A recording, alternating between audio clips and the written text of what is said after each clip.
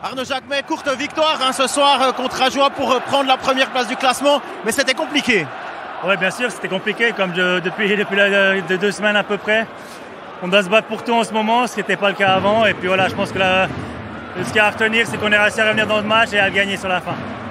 Maintenant, c'est les quarts de finale de playoff hein, dès le 14 mars là, qui, se, qui se dessinent. Euh, ça fait un petit peu souci de voir cette fin de saison. Euh, est-ce qu'une semaine, ça va suffire pour véritablement se remobiliser? On n'a pas le choix. Hein. Si, on veut réussir quelque chose cette année, il va falloir qu'on se remobilise.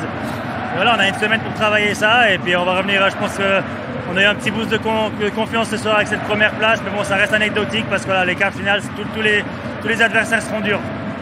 Effectivement, on est obligé de la poser, mais il n'y a pas une équipe que vous aimeriez éviter, j'imagine. Non, euh, franchement, là, je peux dire c'est comme si, si je vais dire quelqu'un, on va tomber sur eux. Puis après, voilà. Donc, il euh, n'y a personne que j'aimerais avoir et il n'y a personne que je vais éviter. Merci, bonne suite.